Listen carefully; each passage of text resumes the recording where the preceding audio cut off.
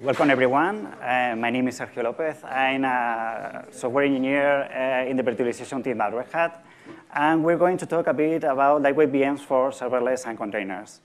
So to be able to talk about uh, lightweight VMs, we, need, we first need to define what is a lightweight VM and in which way they are different from other kinds of VMs, which leads us to the first question, which is how can we classify virtual machines?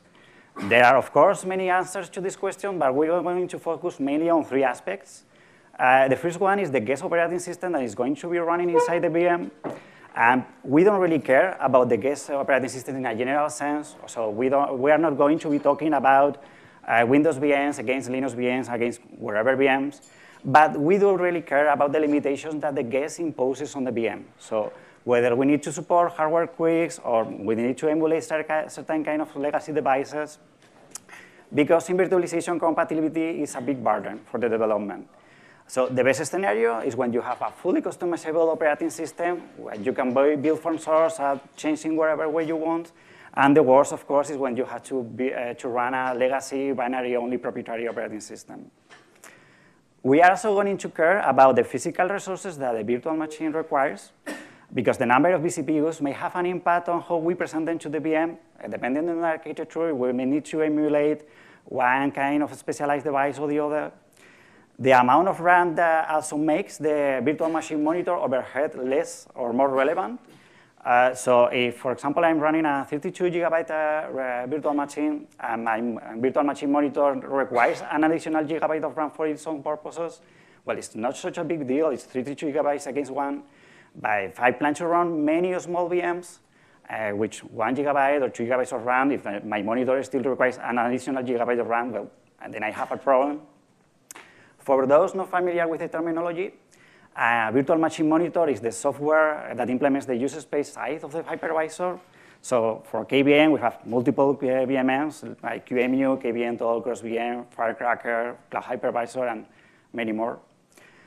Um, as it's also important to determine whether we, we need to implement virtual NUMA. So we do if we do expect to run large VMs that are potentially larger than a single NUMA node in the host, we are going to need to implement uh, virtual NUMAs to be able to partition the guest in multiple uh, nodes so to avoid uh, cross-node accesses.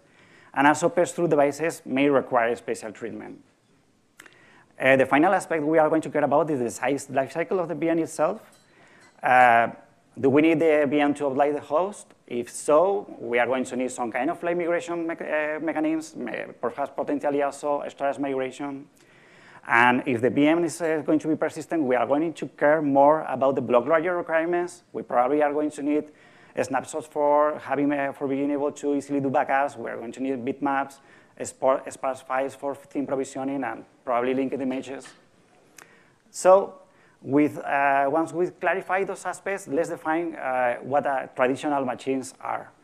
Uh, in general sense, traditional virtualization was driven by the needs of the users at the time, which totally makes sense, which mainly were consolidating services, supporting legacy systems on newer hardware, and improving the availability of the services to tolerate hardware issues. Those needs translate into requirements such as supporting legacy operating systems, how we said before, with uh, hardware quirks and potentially legacy devices, implementing features to support high availability strategies, like migration, for example, supporting potentially large VMs, which implies uh, having to support vNUMA and potentially specialized devices depending on architecture, and prioritizing reliability, flexibility, and management over performance in the block layer. A good example of this last point is that it's a well-known fact that raw images have better performance than feature-rich images like qcow2 but in fact, most users are actually using feature-rich images because they are willing to sacrifice that performance in exchange for so those new features that those images provide. So now that we talk about traditional VMs, uh, what's different uh, within them and lightweight VMs? So lightweight virtualization is driven, driven mainly by one uh, need, which is strong isolation. There are different use cases. There may be secondary goals, but the main one is strong isolation which means that the traditional set of uh, requirements is obsolete. Uh, the guest OS is assumed to be fully customized. In fact, in all use cases we are going to explore here, it can be uh, completely altered in, in, any way, so we don't need to support legacy operating systems. Uh, usually they are short-lived, so no need for live migration, no need to outlive the host. Uh, they are expected to be small, which means we don't need to support things like vNUMA, but on the other hand, uh, footprint of the virtual machine monitor becomes very important. And they are usually ephemeral, which means that we probably not need so many features in the block layer. Okay, so now that we have defined uh, that Lightweight virtual machines have different needs that traditional virtual machines, which translates into different requirements, we're going to see how some virtual machine monitors have, have evolved to fulfill better those requirements. And we're going to do that by looking through some use cases for Lightweight VMs. Uh, the first use case is microservices and functional services, which technically are two different use cases, but share most of the requirements, which are running lots of almost identical small VMs, which implies that the virtual machine monitor has, must have a very small footprint. It also implies that we, another requirement is that we need to get to user space as quick as possible, which basically means booting very fast. And as an example of this uh, kind of use case, we have AWS Lambda, which is very interesting because it's basically running lots of, of VMs using Firecracker. And inside of those VMs, you have a minimalist Linux kernel, you have a, a minimalist root file system, and then you have the uh, uh, customer provide binary implementing the, micro, uh, the microservice inside that VM. That, and that's basically you have also some network endpoints and an API for discover those, some network endpoints, but that's basically it's quite simple. And that's why I think that Lambda is not only a good example of the use case, but it's also a good example of uh, quite pragmatic engineering. Uh, another example is the unikernel-based microservices, which this was kind of a trend like two years ago, then it faded away, and then it's making a comeback, or at least I think it's making a comeback because I was asking people here around DevConf, and I was the only one with that impression.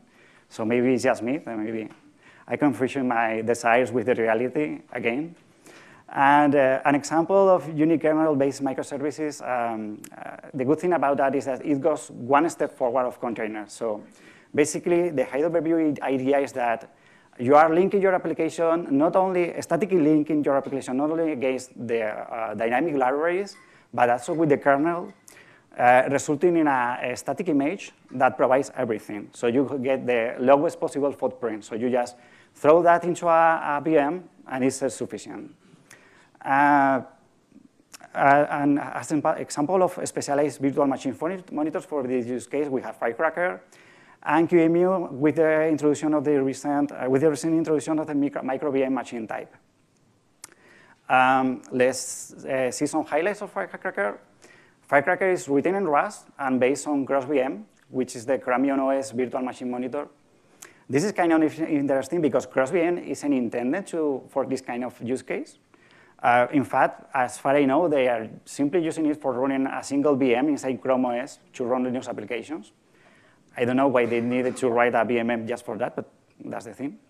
Uh, Firecracker builds into a static binary, which is uh, nice because it allows you to do things like uh, statically analyze the binary, see what kind of syscalls can potentially do, and then create a very precise seccomp filter for the binary, which is kind of cool. It implements a minimalist machine type. So for example, it doesn't implement ACPI, and instead of PCI, it implements uh, MMIO has transport. And this is thanks, obviously, uh, to the fact that it doesn't need to be compatible with uh, legacy operating systems but also has some drawbacks, and the main one is the lack of hot plug support. Uh, it is a customized but unpatched Linux kernel image, which means that you can take a pre-built kernel image from uh, a distribution and boot it on Firecracker. But on the other hand, you don't need to patch the Linux kernel source code. You just need a special configuration. And the advantages for this use case is that you have a smaller code base, which is easier to maintain and audit. you have a smaller binary, you have a reduced footprint, and the guest operating boosts fast thanks to the minimalist machine type. I want to put emphasis on this last point because when Firecracker was initially announced, uh, people on Hacker News and Lobster and whatever uh, were um, assuming that uh, it, the guest operating system booted fast because some kind of magical optimization in the VMM in Firecracker, which is not the case. So what's happened here is that you are presenting less devices to the guest operating system, and you are presenting devices that are easier uh, to configure. So it boots faster. Um, other example of specialized VMM for this use case is the micro VM machine type for QEMU. uh, which has a say this is implemented as a new uh, QEMU machine type. Uh, QEMU can be built only with microVM support for, to obtain a smaller binary, to link with fewer uh, dynamic uh, libraries, and have lower startup times. It's heavily inspired by Firecracker, and basically they implement the same machine type with small differences. As, you, as a result, it also lacks plug support, and it also needs a customized button patch kernel image. The advantages for this use case is that the guest boot fast, again, thanks to the minimalist machine type. I have some numbers for this, uh, for this VMM, uh, for, which basically are for entry, uh, it boots for entry point to user space on a VM with a VirtIO device and a VirtIO block device in roughly 60 milliseconds on Linux, and uh, 3 milliseconds for OSv, which is a, a, a unikernel. And it has a smaller footprint than other machine types uh, of QEMU, which is nice. Okay, so let's do this. Firecracker versus QEMU, microVM. QEMU versus uh, Firecracker. Which one is better? By the guy who wrote the QEMU microVM machine type. so I'm totally impartial. Um, so we've seen that uh, there are different aspects of both VMMs. We've seen that also some similarities. So I put the, the pros and the cons on a spreadsheet. I ran some, uh, some complex algorithm on the spreadsheet, and uh, I got the conclusion that the, the best one is the one that fits your, better your use case, obviously. Um, so in general, Firecracker is expected to have a lower footprint, but QEMU, on the other hand, provides you most features and usually a better I.O. performance. But this depends on a large number of, thing, of factors. So uh, the guest operating system, your kind of workload, your host. So the best thing you can do is if you are considering uh, this use case, uh, uh, try both, evaluate the pros and cons, see which one works better for you. And the important thing I takeaway here is that now we have more VMs than ever. We can learn trees one from each other, and we can improve the KVM ecosystems and liberate the world from those pesky closed source uh, hypervisors, which is the goal in the end. Um, and with this, we go to the second use case, which is additional isolation for containers. Uh, the requirements are basically being able to run lots of different small to mid-sized VMs. Uh, we also need to support hot plug uh, for growing up the VMs. This is because in Kubernetes terminology, um, each VM doesn't hold like a single container, but a pod. And a pod can be uh, composed by one or more containers. So uh, the way in which this works is basically uh, when you create the first container, the VM is created uh, only with the requirements of that particular container. And when a second container is going to root on the same VM, uh, this VM is expanded by, adding, by the hot plugging uh, vCPUs and VRAM. Um, that's the reason why you need hot plug. The main example is obviously Kata containers, and has specialist VMMs, we can count QEMU after incorporating the NEMU and QEMU lite improvements. We see something about this in a minute. And Hypervisor, uh, which is still in early stages. Um, what's, uh, what's this thing about QEMU, and QEMU lite? So basically, Intel ran two friendly QEMU forks for experimenting with features they needed, uh, which were mainly faster boot time and a lower footprint. Uh, as of today, those improvements have, uh, has been uh, merged into mainline QEMU, so uh, NEMU and QEMU lite and in maintenance mode. Um, QEMU is now the preferred VMM for running Kata containers, uh, once again. And uh, this is an example of how QEMU has evolved through friendly forks to better suit this use case. Uh, the second VMM we are going to talk about is uh, Cloud Hypervisor, which is experimental VMM sponsored by Intel for this particular use case. It's also written in Rust. It's based on Rust VMM, which is an umbrella project for holding crates, uh, implementing functionality required by uh, Rust-based VMMs. So it's basically a way for Firecracker, Cloud Hypervisor, and potentially other Rust VMMs to share code and avoid duplicating efforts. It emulates a chain similar to the one emulated by Firecracker and QEMU microVM, but with a device model that includes ACPI and PCI to support hot plug. Uh, with that exception, it also needs to be uh, small and linked into a static uh, and statically binary. Um, before going to the next use case, I want to uh, pause for a minute to talk a bit about hot plug, but uh, if you remember, we highlighted that Firecracker doesn't support hot plug, uh, QEMU microVM doesn't support um, hot plug support either, um, Cloud Hypervisor was modified on purpose to support hot plug support, what's happening here. So the thing is that nowadays hot plug support is implemented uh, after the way in which you will be doing on a physical machine. So if you are virtualizing on an x86, you need to do the same things you will do on a, on a physical x86 machine, which is not something as straightforward as it could be, because that makes sense when you are dealing with physical hardware, but it doesn't make as much sense when you're dealing with a virtualized machine. So it's technically possible to implement a specific for, uh, hot plug model for virtual machines uh, that will allow to simplify the process and play many optimization tricks. An example of this is VirtIO MEM, which is still on early stages. Um, but there is an opposition as it would mean duplicating an existing working feature. Uh, it requires change on both the VMMs and the guest kernels, uh, but well, it seems that there are more arguments in favor of doing that, so perhaps it's something that is worth a try. And that will give us plug support in both Firecracker and MicroVM, and QEMU MicroVM without ACPI and PCI. At this point, some of you may be wondering why ACPI and PCI are a problem for microVMs, and we prefer not to implement them. Uh, the main reason is that all, both ACPI and PCI are very complex for good reasons when you are dealing with physical hardware. But those reasons are not that strong when you are running virtualized machines. So that complexity translates into a larger code, code base to support those devices, which also translates into a, a, a more cost in the boot time. So the legacy operating system takes more time for booting. Um, so that's the reason which it will be preferred to not implement those devices on micro VMs. And the last use case uh, is uh, implementing a trusted execution environment in a VM. Uh, this one, uh, the requirements basically are running VMs um, with hardware-assisted uh, memory encrypted, like uh, AMD SEV, provide remote attestation for the contents inside the VM, provide a functionality similar to the one provided by Intel SGX. The, the main example is Enarx, which is still in early stages.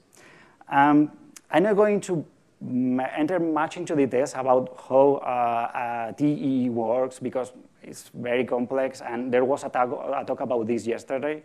But I think it was nice to talk about Enarx a bit in this presentation to illustrate mainly how things can, how different can things be when you don't need to support legacy operating system. You have full control of both uh, the VMM and whatever is running inside the VM. So for example, in the case of Enarx, inside the VM, there will be a micro or unikernel, this is still to be defined. There will be a WebAssembly JIT, there will be a WebAssembly syscall interface-based program, and instead of emulating devices, which is kind of interesting, uh, Enarx will implement a, a, mechanism for the kernel to request syscall. So uh, if you need network access, instead of uh, providing a virtio-net device, uh, which will give you a network interface in the guest, uh, what Enarx will provide is a mechanism for the kernel to request opening a connection to some uh, host on IP, to read from the socket, write to the socket, pull the socket, whatever. Uh, the syscalls will be parsed by the VMM and served in part by the VMM and, the, and in part by the host through the VMM. And as I say, it shows how different things can be. Uh, conclusions. VMs are cool again. Uh, to be honest, uh, traditional virtualization was becoming a bit boring um, for uh, good reasons, because it's a mature technology, which means that we have products that are more stable, which is great, it makes customers happy, that's cool. But from an engineering point of view, it's kind of a bit boring because there are no breakthroughs. Evolution is slow and incremental. Um, so the fun thing is that we've seen that breaking the ties with the compatibility with uh, live migration, breaking ties with the, the, storage requirements, opens a world of possibilities. We've seen that in the serverless and container spaces, lightweight VMs will play a significant role providing additional isolation. Uh, we know for a fact that in the public cloud, lightweight VMs will be essential for hardware-assisted uh, and remotely attested memory encryption, which is very complex, but it's basically the only, the best way we have right now to uh, ensure that your data is not accessible by anyone, not even the cloud provider. And with all, things, all these things in mind, let's work on improving the uh, Web VM landscape. Let's find new use case, let's evolve and create new VMMs, do weird things that were impossible when you are tied with the compatibility, and in general, have fun. So that's all I have to share. I, have to, I hope you enjoy it, and thank you.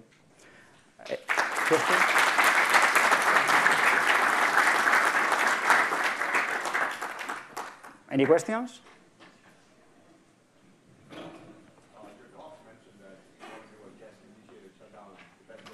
Sorry, I can hear you. Your docs online mentioned that the best way to do a guest-initiated shutdown is to generate a triple fault. I mean, how do you expect the guest to sort of do that on its own? Uh, so the question is, the best way to initiate as a shutdown is to generate a triple fault from the guest. Uh, That's what your are stating. yeah, that's true.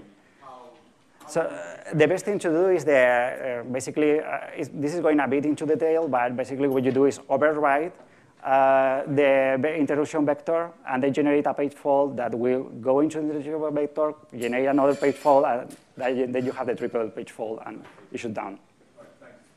You're welcome. Any more questions? Sure. Why did you mention NUMA? What's so hard about NUMA? Well, it's technically not hard by itself, but it means implementing support for a new thing. VMM doesn't do anything for NUMA. You basically provide guess the topology and it's on its own. It's not like ACPI when you need tons of stuff, right? It was just an example of uh, how uh, Firecracker or other uh, cloud hypervisors can give out removing functionality and still works. So it's, it's not uh, throw-through. So there are, we could name uh, we could name many features that uh, other hypervisors don't need and QEMU does needs. Uh, it was just an example. Now, it's, it's, you're right. It's not a good point. It's not really that hard to implement. It's just another thing you need to implement. Yeah, You mentioned unplug and unplug, but how about the device assignment, like direct uh, DMA from the hardware to the guest with some new way that will be more kind of uh, generic? So the question is about how do, to do DMA to the devices. Uh, basically, uh, nothing, nothing changes there. You have IOMMU in the same way. You can implement it uh, mostly in the same way. There is also an Without PCI. You can do basically the same things. The, the, uh, the uh, main issue, uh, uh, which is outside the topic of the presentation, is about the out of the of the three device driver, drivers. So you can have device drivers outside the main process and communicate with them with some kind of protocol, but it's outside the, uh, the presentation. For, for the next one, perhaps. What hardware, what hardware functionality can be used in the isolated process without uh, mandating like, the running of uh, additional kernel for that? Sorry, there was some noise and I could get. And what hardware functionalities could be uh, employed to additionally isolate the process that we currently don't, uh, without the need to launch additional kernel management? Well, I'm not aware of many of them. Uh, you mean the question is, is if there are Maybe CPU extensions that like, Uh, The question is about other uh, security extensions that will you use instead of running a, a in a similar way like we do like single thread, like well, I, I'm, I don't know the, I don't know much about the details, but I know that Google's gvisor tries to do something like that. So you, they can use ptrace or they can use KVM, but in the end they are basically running a very small kernel inside the, uh, the VM, and it can so simulate that there is no operating system, but well, there is an operating system for a fact, uh, just a very small one. Any more questions? No, we're out of time. Finished. Thank you.